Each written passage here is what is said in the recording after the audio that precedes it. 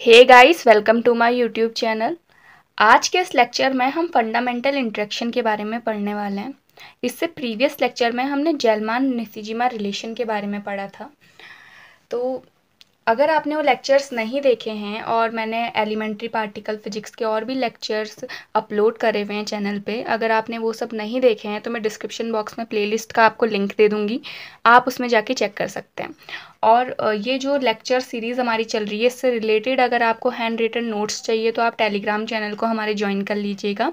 उसका लिंक भी description box में ही आपको मिलेगा। उसमें आपको सारे हमारे हैंड रिटन नोट्स मिल जाएँगे। तो चलिए स्टार्ट करते हैं। सबसे पहले फंडामेंटल इंट्रैक्शन हमारा होता क्या है? Fundamental interaction are the fundamental forces that acts between elementary particle ठीक है, ये हमारी डेफिनेशन हो गई। तो इसमें हम बेसिकली स्ट्रॉन्ग फोर्स के बारे में पढ़ते हैं electromagnetic force weak force and gravitational force के यहाँ पे हम बारे में पढ़ते हैं। अभी हम इसके बारे में थोड़ा जान लेते हैं टेबल के थ्रू इसके बाद इसी लेक्चर में हम इसकी डेफिनेशंस पढ़ेंगे कि इसमें होता क्या है, इसको ब्रीफ में इसका डिस्कस करेंगे, ठीक है? तो सबसे पहले स्ट्रॉन्ग फोर्स की हम बात कर रहे हैं। ये जब आप टेबल बनाएँगे तो इसका एक पार्ट मैंने नीचे लिखा हुआ है तो इसको आप इसके आगे बनाइएगा, ठीक है? ये यहाँ पे जगह कम पड़ गई थी, इसलिए मैंने नीचे लिखा हुआ। तो देखते हैं स्ट्रॉन्ग फोर्स में force carries on carries particle देखेंगे, सबसे पहले फिर इसकी स्ट्रेंथ देखेंगे, फिर इसकी रेंज देखेंगे और लास्ट में ऑपरेट्स अमंग देखेंगे, ठीक है? तो देखते हैं स्ट्रॉन्ग फोर्स जो हमारे होते हैं, वो क्या होते हैं? ग्लूऑन्स होते हैं, ठीक? इसकी स्ट्रेंथ कितनी होती है? वन होती है और इसकी रेंज कितनी होती है? टेन की पावर माइनस फिफ्टीन ठीक है? और ये किसमें ऑपरेट होते हैं? क्वार्क्स में। ठीक। अब हम बात करते हैं इलेक्ट्रोमैग्नेटिक फोर्स की। इलेक्ट्रोमैग्नेटिक फोर्स में क्या है? फोर्स कैरीज पार्टिकल क्या होते हैं? फो फोटोन होते हैं इसमें। और इसकी स्ट्रेंथ इतनी होती है और इसकी रेंज क्या होती है? इन्फानाइट होती है। और अगर हम देखें कि किसके उसमें ऑपरेट करते हैं? चार्ज पार्टिकल में ऑपरेट करते हैं। ठीक है? फिर हम बात करते हैं वीक फोर्स की। वीक फोर्स में हमारे जो डब्लू बोसॉन्स हैं ठीक है, उसमें जेड बोसॉन, ये सब उसमें आ जाते हैं, ठीक। और इसकी स्ट्रेंथ स्ट्रेंथ हमारी इतनी है और इसकी रेंज हमारी ये है। ठीक है। ऐसी ग्रेविटेशनल फोर्स की अगर हम बात करें तो इसमें किसमें होता है? ग्रेविटोन में होता है और ये इसकी स्ट्रेंथ है और ये इन्फानाइट इसकी रेंज है और एक इसके में ऑपरेट करते हैं? वीक किसमें होते हैं? क्वाक्स एंड लेप्टॉन्स में होते हैं और ग्रेवी ग्रेविटेशनल ये ग्रेविटेशनल है।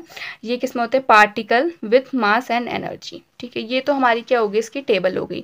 अब हम, ये जो हमारे फोर्सेज हैं, इनके बारे में जान लेते हैं। टेबल से हमें थोड़ा आइडिया लग जाता है कि इसमें क्या, इसमें हमारी रेंज होगी इसकी, क्या इसकी स्ट्रेंथ होगी और ये किसमें हमारे ऑपरेट होंगे। ठीक है, ये सब के बारे में हमें टेबल के से पता चल जाता है। अब हम जो हमने वहाँ पे strong electromagnetic weak and gravitational force के बारे में पढ़ा है, अब हम उसे ब्रीफ में डिस्कस करने वाले हैं। ठीक है? देखिए स्ट्रॉन्ग इंट्रैक्शन हमारा होता क्या? हमें पता है कि ये क्या है, सबसे स्ट्रॉन्गेस्ट फोर्स है नेचर में। ठीक तो वही हमने लिखा है। It is a strongest force in nature and it binds nuclear nucleus together sorry against enormous force of repulsive of proton ठीक है। इसकी अगर हम कैरेक्टरिस्टिक्स देखें तो हम, ये क्या है? बेसिकली क्या है? एक अट्रैक्टिव इन नेचर होता है। हमें पता है स्ट्रॉन्ग फोर्स है। तो ये क्या होगा? अट्रैक्टिव इन नेचर होगा। Does not obey inverse square law कोई इन्वर्स स्क्वायर लॉ को फॉलो फॉलो नहीं करता इधर पे। ये क्या है? एक नॉन सेंट्रल फोर्स है, ठीक? और ये क्या होता है कि एक्सट्रीमली शॉर्ट रेंज फोर्स है। मतलब बहुत शॉर्ट रेंज में काम करता है। बहुत ज़्यादा शॉर्ट रेंज में काम करेगा। बहुत लॉन्ग रेंज में काम नहीं कर पाता है। ठीक है? बहुत ज़्यादा एक्सट्रीमली शॉर्ट ये हमारा रेंज फोर्स होता है। फिर क्या होता है? ये क्या होता है? चार्ज इंडिपेंडेंट होता है। Spin isospin velocity orientation क्या होता है? इसके डिपेंडेंट होती है। ठीक? अब हम देखते हैं। फॉर न्यूक्लियन न्यूक्लियन अगर हम न्यूक्लियन न्यूक्लियन इंट्रैक्शन देखें तो एक्सचेंज पार्टिकल इस पाई मैसोन इसमें क्या होते हैं? एक्सचेंज पार्टिकल क्या होंगे? हमारे पाई मैसोन होंगे but for extremely strong interaction that is for quar quar interaction exchange particle is gluon तो यहाँ पे हमारा क्या होंगे? ग्लूऑन होंगे। ठीक है? अब हम ये क्या होते हैं कि कभी हमारे एग्ज़ाम में अगर हमारी यूनिवर्सिटी एग्ज़ाम जो होते हैं उसमें ये शॉर्ट नोट्स में भी पूछे जा सकते हैं तो आप उसमें ये लिख के आ सकते हैं। ये वीक इंट्रेक्शन बहुत ज़्यादा बार पूछा गया है तो आप इसे देखिएगा। वीक इंट्रैक्शन में क्या होता है? ठीक है this interaction is responsible for particle decay ठीक है? पार्टिकल डिके के लिए हमारा रिस्पॉन्सिबल होता है। This is just change of a of one type of subatomic particle into other ठीक है? एक को दूसरे में चेंज करता है, ठीक है? And has exchange particle nature and exchange particle are W and Z boson जैसे कि हमें पता कि ये क्या होते हैं कि वहाँ भी हमने देखा था कि ये डब्ल्यू बोसॉन जो हमने यहाँ पे देखिएगा। इसमें भी लिखा है कि फोर्स कैरीज ऑन पार्टिकल ये डब्ल्यू बोसॉन जेड बोसॉन इनके बारे में हम एलिमेंट्री पार्टिकल जो हमारे क्लासिफिकेशन है, उसमें हम पढ़ चुके हैं। अगर आपने वो लेक्चर नहीं देखा तो आप देख लीजिएगा, ठीक है? तो देखिएगा। ठीक है एक्सचेंज पार्टिकल क्या होते हैं? इसके ये होते हैं। वीक फोर्स चेंज क्वाक फ्लेवर्स हमें फ्लेवर्स के बारे में भी पढ़ चुके हैं। ठीक वी वीक फोर्स चेंज क्वाक फ्लेवर ये क्या होता है? क्वाक के फ्लेवर्स को चेंज कर देते कैसे? Change on quarks to another quark मतलब ये एक क्वार्क को दूसरे क्वार्क में चेंज कर सकते हैं। वीक जो इंट्रेक्शन हमारे होते हैं। ठीक है? मतलब जैसे अप है वो स्ट्रेंज में अप डाउन में स्ट्रेंज चार्म में, ऐसे करके हमारे चेंज हो सकते हैं। मतलब ये हमारे क्वाक के फ्लेवर को यहाँ पे चेंज कर देता है। क्वाक है सिक्स फ्लेवर्स ये हमें पता है। ये हम पढ़ना भूल गए and hence change whole identity of particle ठीक है? सही बोल रहा है वो? क्योंकि अगर क्वाक अगर हमारा चेंज हो रहा हो रहा है, अगर उसका फ्लेवर ही चेंज हो रहा है तो उसकी होल आइडेंटिटी भी तो चेंज हो जाएगी, नहीं? तो वही चीज़ यहाँ पे लिखी हुई है। क्वाक है सिक्स फ्लेवर्स इसके बाद हमें पता है क्वाक के पास सिक्स फ्लेवर होते हैं, कौन से? Up down strange charm top and bottom these quack makes composite particle and gives them unique property हमें पता है ये क्या होते हैं? इसको एक यूनिक प्रॉपर्टीज़ देते हैं। Now weak interaction allows quark to swap swap their flavours by exchanging this ठीक है? अब इसकी कुछ कैरेक्टरिस्टिक्स देख लेते हैं।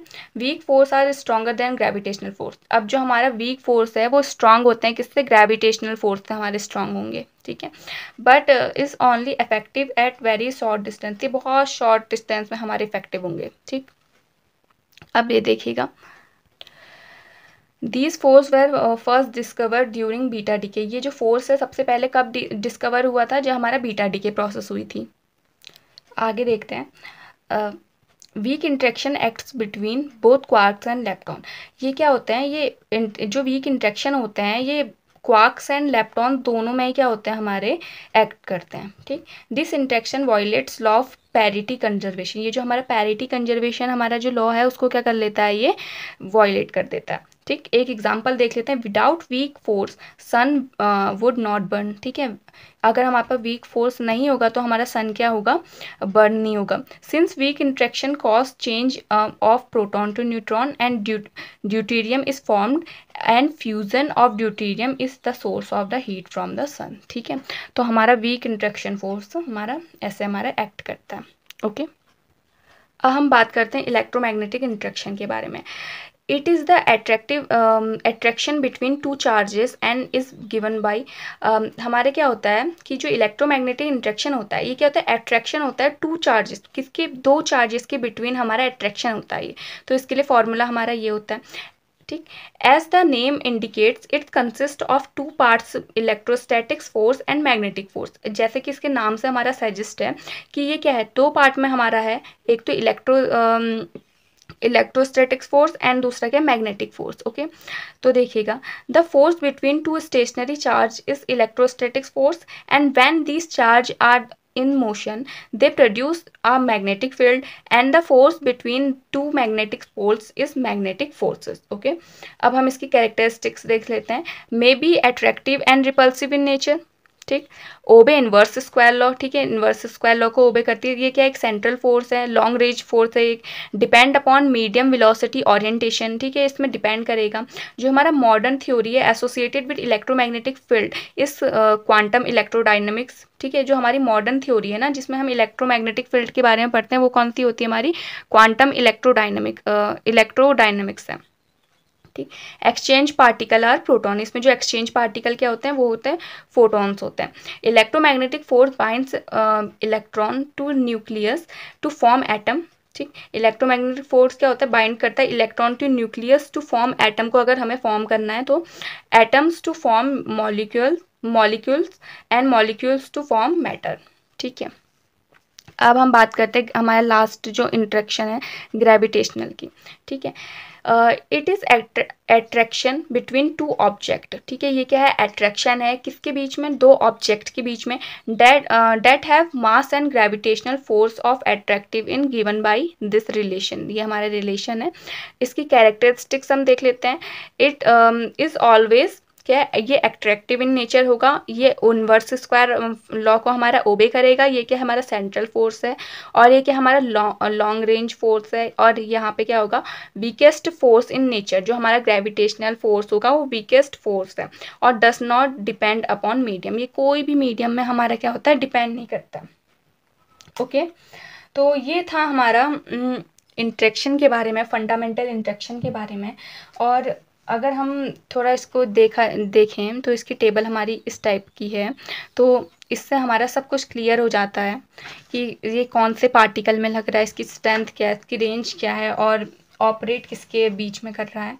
तो ये बहुत ज़्यादा इंपॉर्टेंट है और कभी कभी एग्ज़ाम में इसके किसी भी मतलब स्ट्रॉन्ग में या वीक में या इलेक्ट्रोमैग्नेटिक में ही इसकी शॉर्ट नोट्स लिखने को आ जाते हैं।